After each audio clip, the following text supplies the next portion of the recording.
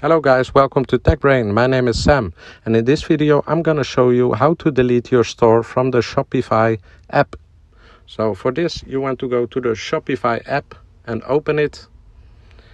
As you can see I have an example store right here. You want to press on the left corner logo and here you can see the three dots.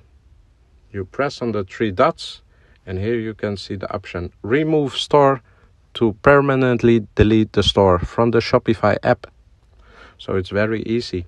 If you have any further questions about Shopify, please let me know down below in the comments. Like, subscribe, and see you in the next one.